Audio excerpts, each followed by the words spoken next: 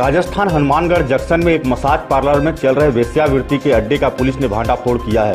Hanumangarh junction में bus stand के सामने वृत्ताधिकारी वीरेंद्र जाखड़ के नेतृत्व में हुई कार्रवाई में पुलिस ने मसाज पार्लर संचालिका और दिल्ली निवासी एक युवती को पीटा एक्ट में गिरफ़्तार किया है।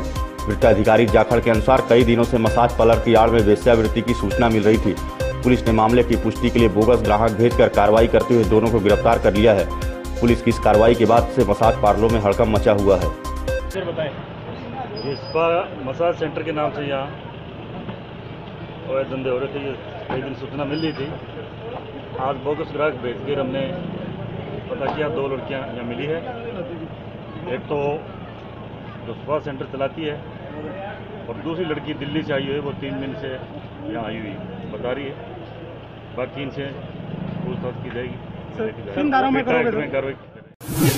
उत्तर प्रदेश जनपद के मेरठ में पैसे लेकर लिंग परीक्षण और गर्भपात करने का मामला उजागर हुआ है। मेरठ के ब्रह्मकुमारी थाना क्षेत्र से महज 500 मीटर की दूरी पर बेटी को गर्भ में मारने का धंधा पंद्रह हज़ार रूपए फ़ीस लेकर किया जा रहा है। मामले का खुलासा लिंग परीक्षण सूचना पर स्वास्थ्य विभाग ने सिवा अल्ट्रासाउंड सेंटर में छापेमारी करने के बाद किया।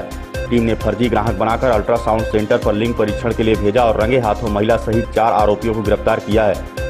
आपको बता दें कि PNDT team Sonipat, Haryana doctor Adarsh Sharma ने शिवा पैथोलॉजी लैब में लिंग परीक्षण करने की जानकारी से अवगत कराया था। उसके बाद एक आदेश के तहत टीम गठित कर छापेमारी को अंजाम दिया गया। इस दौरान संगीता, बबलू सहित महेश को पकड़ा गया। वहीं मालिक फरार होने में कामयाब रहा।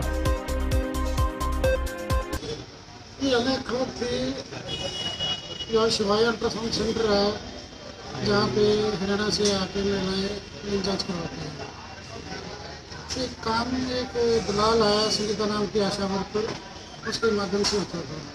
इसकी सूचना पर हमने एक फर्जी ग्राफ तैयार किया। उससे बातचीत करी संगीता से तो पंद्रह हज़ार रुपये में सौदा हो गया। पंद्रह हज़ार रुपये लेके मरीज़ को यहाँ ले आएगी पंद्रह हज़ार में से नौ हज़ार तो उसने खुद रख छः हज़ार आगे अल्ट्रासाउंड सेंटर के अल्ट्रासाउंड पे उसका अल्ट्रासाउंड करने के बाद उसका जाँच की गई। और बाद में पता चला जो अल्ट्रासाउंड करने वाला डॉक्टर नहीं था कोई लैब टेक्नीशियन है जो कि पी एन डी के हिसाब से लीगल है। नहीं हमें तो जहाँ से खबर लगती है सेंटर की हमारे दलालों को पता चलता है कि इसने करवाया था। दलाल को फॉलो करते हैं करता करते कहाँ ले गए हमें पता नहीं। तो तकरीबन कितनी गिरफ्तारी हुई है और क्या क्या बरामद हुआ है इनसे तेरह हज़ार रुपये बरामद हो गए हैं और अल्ट्रासाउंड मशीन सील कर दी गई है अभी एफ़ आई आर के लिए प्रोसेस चल रही है। तो दो तो दलाल हैं। जो मोटरसाइकिल पर बिठा के लाया था। जोधपुर पासरवनाथ सिटी के निवासियों ने विभिन्न समस्याओं को लेकर सांकेतिक धरना प्रदर्शन किया। इस दौरान कॉलोनी के निवासियों ने प्रेस वार्ता में बताया कि पानी, बिजली, सड़क व रोड लाइट की सुरक्षा व्यवस्था को लेकर डेवलपर कोई ध्यान नहीं दे रहा है। लिहाजा मजबूर होकर सांकेतिक धरना प्रदर्शन करना पड़ा। हालाँकि पासरवनाथ डेवलपर्स के उच्च अधिकारी कॉलोनी में हुई कमियों को जल्द पूर्ण करने की बात कह रहे हैं। आपको बता दें कि विभिन्न समस्याओं में पार्क को हरा भरा करने सहित बिजली, पानी, सड़क, बच्चों के झूले, सिक्योरिटी गार्ड जैसे तमाम मुद्दे शामिल रहे। नगर को विकास की धारा से जोड़ने का दावा करने वाली स्थानीय सरकार का प्रमुख कार्यालय चर्चा का केंद्र बिंदु बना हुआ है। राजस्थान उदयपुर वाटी नगर पालिका में अव्यवस्था का आलम पसरा है। पालिका कार्यालय के कमरों में जगह जगह गंदगी के ढेर लगे हैं। डीडी समाचार की टीम मौके पर पहुंचकर पूरा दृश्य अपने कैमरे में कैद किया। दरअसल भारत सरकार स्वच्छ भारत मिशन अभियान के अंतर्गत पूरे देश में स्वच्छता का पाठ पढ़ा रही है। आपको बता दें कि नगर को स्वच्छ रखने का जिम्मा जिस कार्यालय को मिला है, वहीं गंदगी का आलम देखा जा रहा है। पालिका परिसर में फ़ाइल के पास खाली बोतलें पड़ी हैं तो कहीं कूड़े करकट का ढेर लगा है। कर्मचारियों की कुर्सियाँ खाली नज़र आ रही हैं, और तो और चेयरमैन के ऑफ़िस में ताले लटके पड़े हैं। सबसे अहम बात की पीने के पानी की व्यवस्था तक उपलब्ध नहीं कराई जा सकी है। मध्य प्रदेश नरसिंहपुर ज़िले में अखिल भारतीय युवा कौरव समाज के द्वारा पर्यावरण को बचाने की मुहिम चलाई जा रही है। इस दौरान ज़िले के लगभग एक सौ बयासी गाँव में पेड़ लगाने का संकल्प लिया गया है, जो कि बरसात के पूरे समय मुहिम को जारी रखा जाएगा।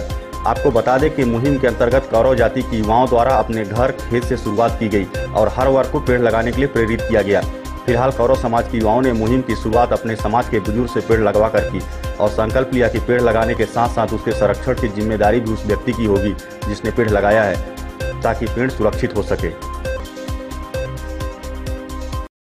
अखिल भारतीय कौरव महासभा के मार्गदर्शन में, अखिल भारतीय कौरव युवा सभा के तत्वाधान में हम सभी ने एक सौ बयासी ग्रामों में पौधारोपण करने का संकल्प लिया है, जिसके तहत हम आज से कार्यक्रम की शुरुआत की और एक सौ बयासी ग्रामों में हम पौधारोपण करने के साथ साथ उनको वृक्ष बनाने का संकल्प ले रहे हैं। जिसमें हमें समाज के अलावा अन्य सभी वर्गों की और समाज का समर्थन मिल रहा। है युवा सभा द्वारा ज़िले में एक सौ बयासी गाँव में लगभग हज़ारों पेड़ लगाने का जो आज एक सामूहिक प्रयास किया गया था, उसमें एक सौ बयासी गाँव के लोगों ने, युवाओं ने, बच्चों ने, वृद्धों ने, सभी ने महत्वपूर्ण जो पर्यावरण को बचाने के लिए जो हम हम, समाज की ज़िम्मेदारी होती है, उसके तहत एक व्यक्ति एक पेड़ लगाने का जो संकल्प लिया है, उसमें, न सिर्फ़ आज बल्कि आगामी समय में भी हम लोग पेड़ लगाने का काम कर रहे हैं, जिसमें पर्यावरण को संतुलित किया जा सके। मंडी प्रांगण में कोंडा कोंडागांव ज़िले के समस्त पंचायत के सचिव द्वारा सचिव दिवस मनाया गया।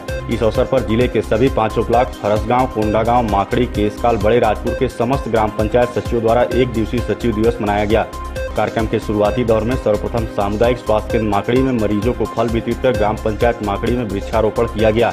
सचिव संघ द्वारा दिवंगत सचिवों के परिवारों को आर्थिक सहायता, सचिव परिवारों के प्रतिभावान छात्राओं को पुरस्कार व वरिष्ठ सचिवों को सम्मानित कर छात्र छात्राओं को कापी पेन भी वितरित किए गए। कार्यक्रम की उपयोगिता को देखते हुए समस्त अधिकारी, कर्मचारी सहित आगंतुकों ने आयोजन को सराहा तथा भविष्य में ऐसी उत्कृष्ट कार्यक्रम होते रहने के लिए प्रेरित किया।